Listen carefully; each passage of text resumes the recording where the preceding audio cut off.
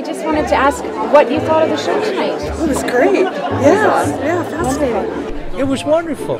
It was great. I was astounded by the the level of intricacy and the way in which the actors did it. It was marvelous. Brilliant. That's so nice to say. What did you think? I thought it was brilliant. Yeah, perfect whodunit. Right until the end. Yeah. Any of you Agatha Christie fans, or was this very new to you? I was like, she is. yeah. Oh, you are. I have every one of her books. The show was great. Yeah, it was fantastic. Wonderful. Uh, were you surprised by the murderer? We tried to figure it out at halftime. We couldn't figure it out. I don't think any of us picked no who it was. Show. I thought it was great. It was wonderful. Very well acted. Fantastic. Wonderful. And were you surprised at all by who the murderer was? Can never guess an Agatha Christie murder.